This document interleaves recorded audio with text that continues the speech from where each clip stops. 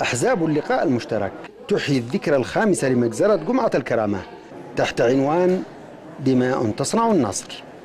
لولا الإعلام لما كان لجمعة الكرامة هذه الهالة الكبيرة التي حدثت أو نقلت عبر مستوى العالم ووصلت إلى تداعياتها وكانت أو شكلت حجر الزاوية لإسقاط نظام المخلوع علي عبد الله صالح. لولا الإعلام لكانت ساحة التغيير فضت وانتهى كل شيء دون أن يعلم العالم شيء.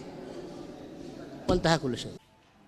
بدأ الإرهاب بصورة فاضحة وقبيحة باليمن. بتاريخ 17/3/2011 ميلادية. يوم كشف الحاكم عن وجهه القبيح. بقتل العشرات من شباب الثورة السلبيين بساحة التغيير بصنعاء. هذه الجريمة عرت النظام. كما سبق وقال الأخ عبد الحكيم إعلاميا فضح النظام وعرته تماما.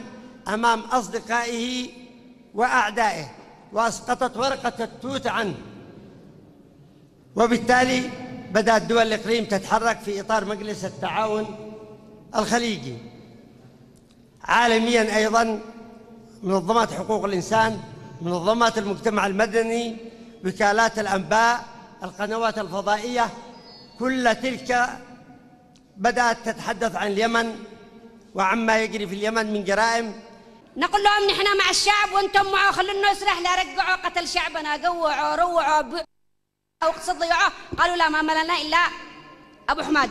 ولو مش أبو حماد يكون أحمد لأنه في النهاية ما يصلحش السلطة إلا لهذا الاسم حتى وصلنا إلى إلى إلى ما وصلنا إليه الآن. ومع ذلك ما زلنا ما زال ما زال عندنا الأمل بأنه حتى حتى وقد جرحت سلميتنا وما زال عندنا الأمل وما زلنا نتطلع لمستقبل بهي المعركة ما زالت مستمرة من يوم جمعة الكرامة ولنفس الهدف وضد نفس المشروع الإمامي السلالي الاستبدادي. ولا زال الشعب اليمني يدفع ثمنا لحريته وكرامته. وسينتصر الشعب. محمد يوسف لقناة سهيل